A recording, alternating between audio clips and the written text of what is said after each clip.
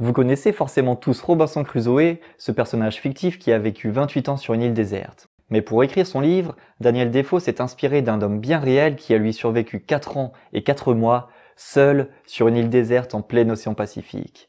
Et on va aujourd'hui découvrir son incroyable histoire.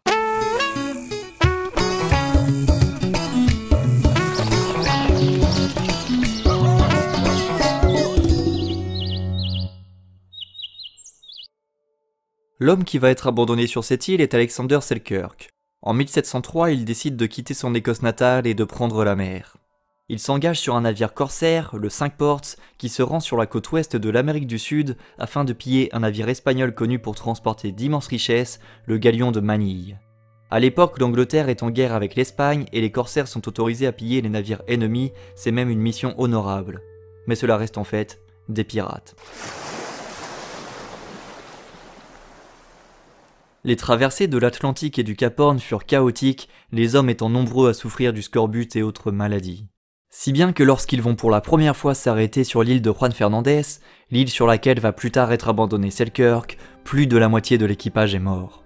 Après s'être ravitaillés pendant plusieurs semaines, ils peuvent enfin commencer à piller des navires et à chercher le galion de Manille pour assurer leur rêve de richesse. Mais quand ils arrivent à attaquer des navires, le capitaine les laisse partir et l'équipage est donc persuadé que celui-ci accepte des pots de vin en échange de leur liberté. Les hommes perdent ainsi toute confiance envers leur capitaine et la mutinerie est de plus en plus proche. Après plusieurs déconvenus et après que plusieurs hommes se soient fait capturer par les Espagnols, le capitaine décide de retourner sur l'île de Juan Fernandez pour soigner les hommes et se ravitailler de nouveau. C'est une fois sur l'île que les relations entre Selkirk et le capitaine Stradling vont vraiment dégénérer. Le bateau est infesté de vers qui dévorent le bois du bordage. Selkirk affirme qu'il est inconscient de reprendre la mer dans ces conditions et qu'il faut absolument changer ce bordage.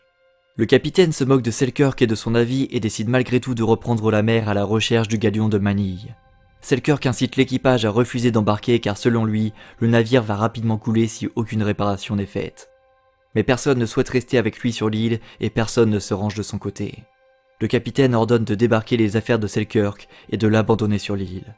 Celui-ci comprend alors qu'il va être laissé seul sur une île déserte. Il implore au capitaine de le pardonner et de le laisser remonter sur le bateau, mais rien n'y fait. On est en 1704 et Selkirk se retrouve seul sur son île, abandonné des hommes.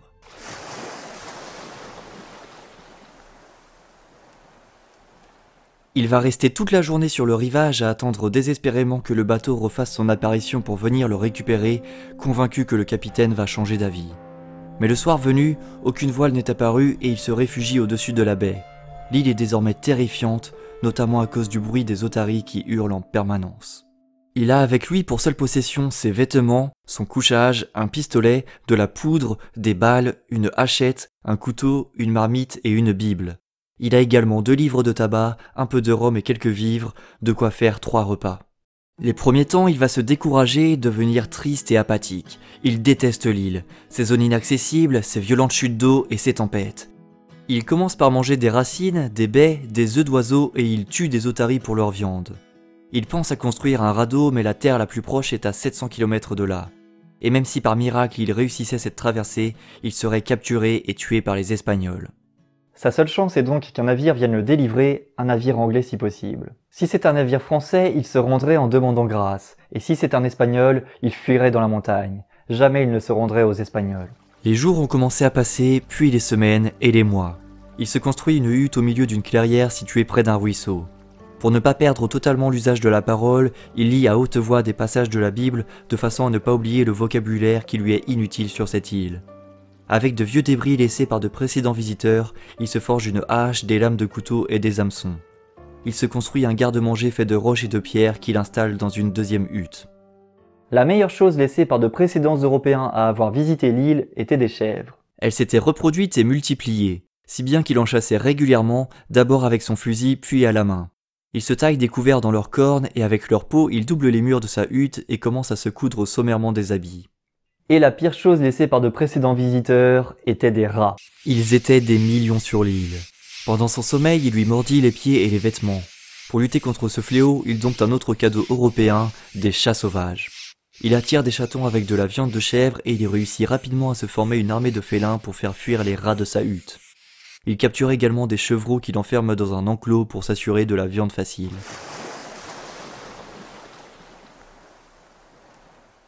Il le saura des années plus tard, mais sa prédiction que le navire allait couler à cause des vers s'est bel et bien réalisée. Un mois après avoir abandonné Selkirk, le navire a sombré près d'une île au large de la côte péruvienne.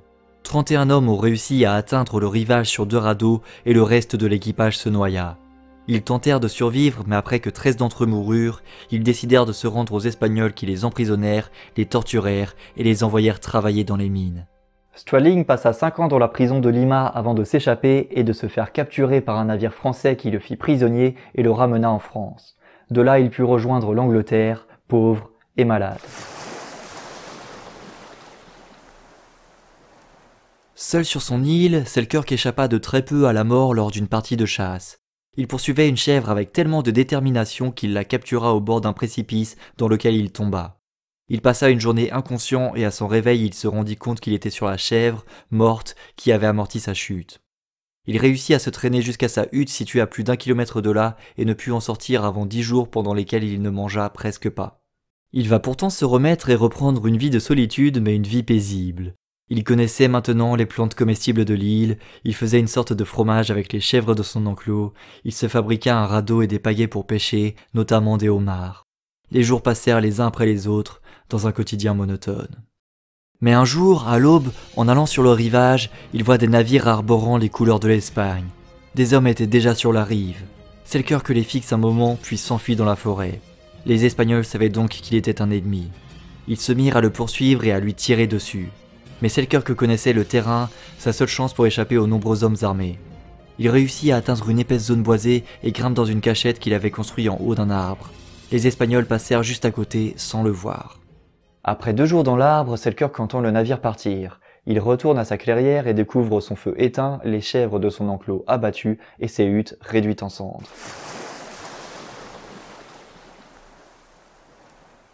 Il va reconstruire tout ce qui a été détruit et le temps va de nouveau s'écouler lentement. Mais enfin, quatre ans et quatre mois après avoir été abandonné, il voit un autre bateau passer au large. Pour être sûr que l'île soit vue des marins, il fait un grand feu sur la plage. Mais au contraire, en voyant ce feu, le navire fait demi-tour et s'éloigne. Les hommes à bord pensaient en fait que ce feu était la preuve que des ennemis étaient présents sur l'île. Selkirk est complètement désespéré, mais les hommes vont bien revenir le lendemain, tous armés. Ils vont découvrir un homme aux cheveux et à la barbe hirsute, marchant pieds nus et vêtu de peau de chèvre. Ils vont pointer leurs fusils sur lui. Selkirk lève alors les bras et réussit à articuler Marin abandonné. Heureusement pour lui, ces hommes étaient bel et bien anglais. Il commence à lui poser un tas de questions, mais Selkirk reste les mains en avant en répétant Marin abandonné, incapable de dire autre chose. Il leur pointe du doigt le feu éteint, la nourriture qu'il avait préparée pour les accueillir, les montagnes, puis il éclate en sanglots.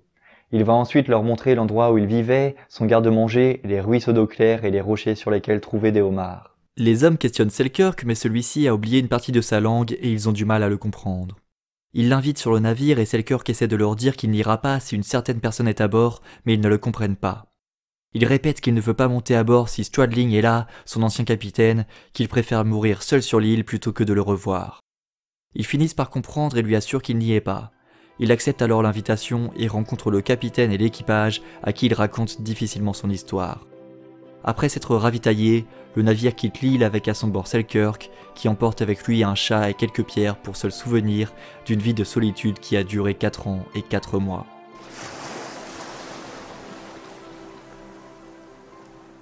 Mais avant de quitter le Pacifique, le capitaine veut accomplir la mission manquée par Stradling 4 ans plus tôt, capturer le galion de Manille. Et avec Selkirk à bord, ils vont cette fois y arriver et assurer assez de richesses à tout l'équipage pour rentrer en Europe. Le navire arrivera à Londres au final 8 ans après que Selkirk l'ait quitté. Il va y rencontrer plusieurs auteurs qui se chargeront d'écrire son histoire. Elle sera reprise et romancée par Daniel Defoe qui va en faire un personnage mythique de la littérature, Robinson Crusoe.